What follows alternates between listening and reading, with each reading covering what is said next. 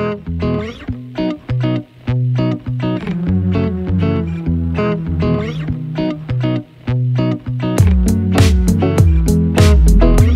morning, YouTube. Today is going to be a life lesson on what it's like to be on the road and have a problem with your RV. Maybe two, maybe three. Huh.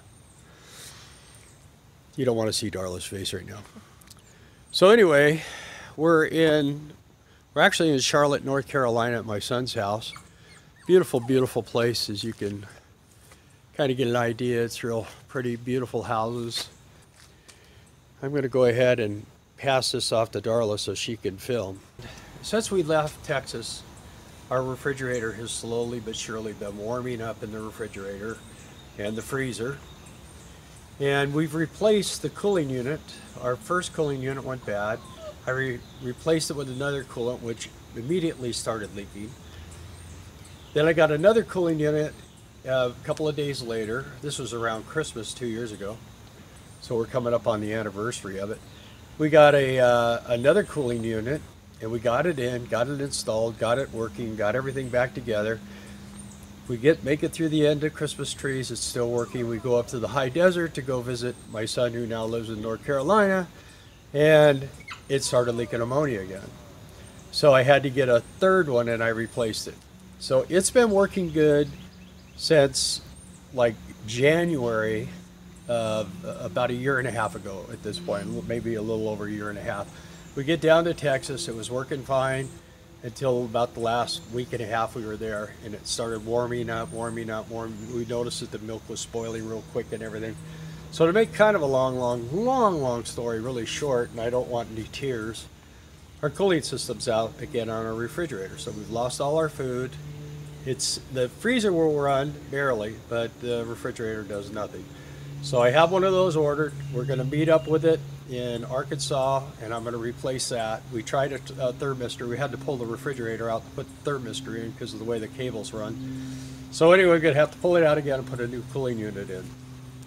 Also, what happened is on the way here, we lost our dash air air conditioning. So what happened is, is, and I'll show you.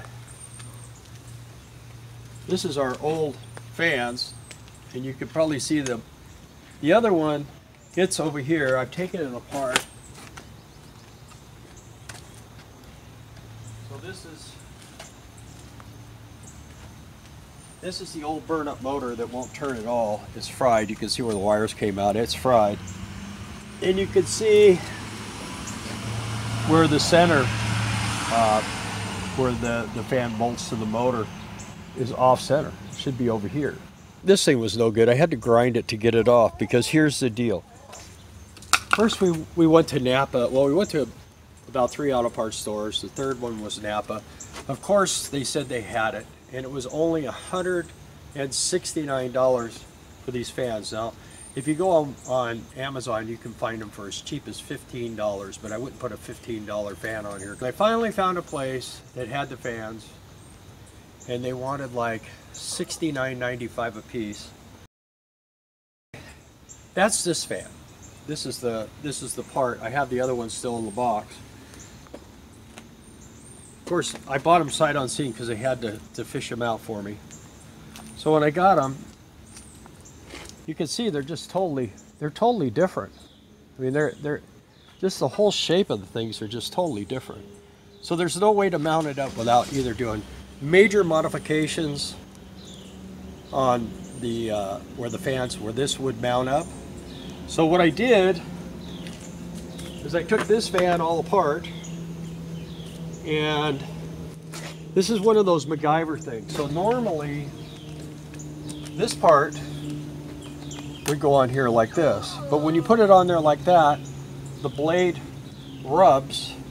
Now this now, you, now this is my old piece, okay? this would rub, the fan would rub on the inside. And I was like, oh crap, I'm gonna have to use that other one and go through all that modification. Well, I have a weird brain, it takes a minute.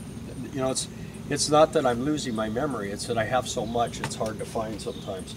So anyway, what I decided to do is see whether this would work.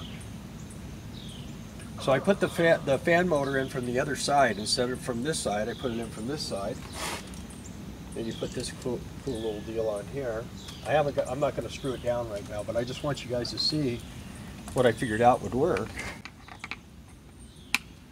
Uh, turns perfectly. There's perfect clearance. Everything. This is a better fan. This is going to draw a lot more air, and this is going to bolt right back in. So I had to butcher their stuff a little bit, but it's going to work good. I assure you, it's going to work good. So anyway, I'm going to give. Uh, we're going to take a little break here, and I'm going to take the other one apart, and then we'll uh, show you what we're going to do. If you're ever uh, in a situation here where you have to do this, and I mean, I have to be honest with you, in this lifestyle, you have to be prepared to modificate everything because it just it's just really not real fun. So these screws, they're going to be on the inside. And we definitely don't want those coming out. Because the thing about it is, is now that I know how to fix it, it involves preserving these cages. So if these screws were to come out and interface with those fan blades, with this fan blade, that would be the end. That would be, uh, then you would have to be cutting parts out of the motorhome and fabricating. And let me tell you, where we're at right here, there doesn't seem to be a lot of uh, places to do that. So, it's really beautiful though here, isn't it, baby? It's gorgeous. Really, truly. I'll tell you what, it's it's as pretty as Arkansas, but it's it's more it's more big city, huh? It's more people yeah. and stuff, and uh, it's nice though. I mean, it's uh, it's definitely a nice place. Of course, my son would really like it if we moved here.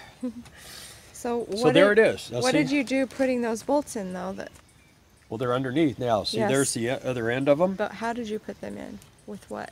With red Loctite. Everything got red Loctite. Red and I know everybody's going to say that's kind of overkill, red Loctite is. But um, what I found about red Loctite is it's overkill until you need to take it off. It doesn't ever hurt. I have some blue Loctite in here, but like I say, I don't want these things uh, flying off, exploding on me. You can see even the even the circuit breaker took a beating. We changed that. I had one fan that was working, and uh, and I tested this and it was it was bad. And I looked up in there, I could see the wire was chopped off as you saw the picture in there, it was gone. So I knew the other fan had been working. So I thought, well, maybe this breaker just got bad. So I put a new breaker and it would last an hour. Maybe. and then it stopped working again. But even one fan made it cool. And, and now we're going to have these super duper blades. They fit in there pretty good. And this is cut away. You can see how this is. And then here's the trick. See, this is the deal. These are the little mounts. This is how it mounts up, top and bottom, with these. And uh, those other ones, they're wider, and these are these are too tall. They they uh, they won't fit in between my brackets, so I would have had to modify all the brackets and everything. I got both those fans um, because the guy was having a hard time supplying them for me and we got them finally late last night. But see that? Look at how nice that came out. Woo! That's pretty exciting, eh? Anyway, the, the guy was like, here, man, I'm going to cut you a deal. So I ended up getting them for about about $45 a piece instead of 167 or 69 or whatever uh, uh, Napa. I, you know, the, th the thing with Napa is, is they always seem to have everything. This time they, they did not come through. But, uh, and I walked into Napa, I have to tell you, with a bad attitude because when we first walked in there, well, actually I called them, they put me on hold for a half an hour. And I walked in there and there was an old guy sitting in a chair and first thing he did is jump up and run in the back.